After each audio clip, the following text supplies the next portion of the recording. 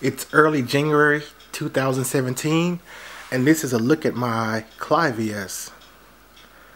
And we had a freeze last night or two nights ago and uh, I forgot about the plants and I realized it the next morning and this is what I got.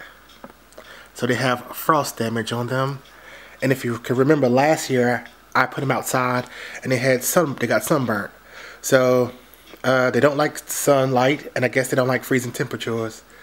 Uh, it's a learning experience, I guess. Um, I've had these for about four years now, and I've never seen them bloom before. So that's unfortunate. But I think they should be able to come back. The one that has the worst damage is this one here in the center. Um, it's uh, the center of it here is soft but it's firm at the bottom so maybe maybe it will come back. Uh, the one to the right of it right here it is um, I think this is gonna come back but it doesn't have any roots left. The roots are uh, coming apart from it right here. So I just think I need to redo that repot it up or something and see how it goes and then the one at the end, this seems to be in a better shape.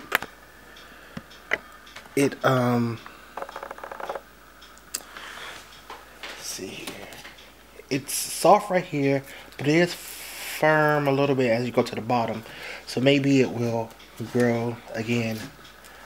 The centers of them are not that well. So, I mean, I guess live and learn at this point. I hate that I uh, forgot about them, but that's, you know, live and learn, I guess. And um, there they are. I'm going to, I'm not going to repot them or anything. I haven't watered them. I'm just going to keep them out for a little while um, and just see how they do.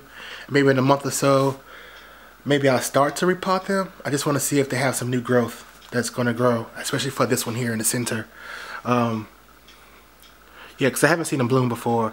But I think in the meantime, I'm just going to go ahead and pay the money to get a full size, a blooming size plant. Because I sort of want to see how they look and bloom. So this is my Clivia experiences. Perhaps next year, next time you see a video of them, uh, they would have recovered. So let's see how that goes. So no sunlight and no freezing temperatures and we are good to go.